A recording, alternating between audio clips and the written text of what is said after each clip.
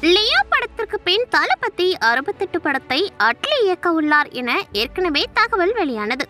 Sun pictures இப்படத்தை தயாரிப்பதாகவும் இப்படத்தின் budget ரூபாய் நானூறு கோடி என்றும் கூறப்பட்டது. இப்பொழுது புதிய தகவல் ஒன்று வெளியாகியுள்ளது. அதன்படி வினோத் விஜய்க்கு கதை கூறி இருப்பதாகவும் அடுத்ததாக வினோத் இயக்கத்தில் விஜய் நடிக்கவும் வாய்ப்புகள் இருக்கிறது என்றும் கூறுகின்றனர். இந்த இருவரில் யாருடைய இயக்கத்தில் விஜய் நடிப்பார் என்பதை பொறுத்திருந்து பார்ப்போம். ஆனால் தளபதி அறுபத்தெட்டு படத்தை யார் இயக்கினாலும் நடிகை சமந்தா தான் கதாநாயகியாக நடிப்பார் என முடிவு செய்யப்பட்டுள்ளதாக தெரிவிக்கின்றனர். இந்த முடிவை விஜயின் தரப்பில் எடுக்கப்பட்டுள்ளது என்றும் கூறப்படுகிறது. இப்படி நடந்தால் விஜயுடன் சமந்தா இணைந்து நடிக்கும் நான்காவது படமாக தளபதி அறுபத்தெட்டு அமையும்.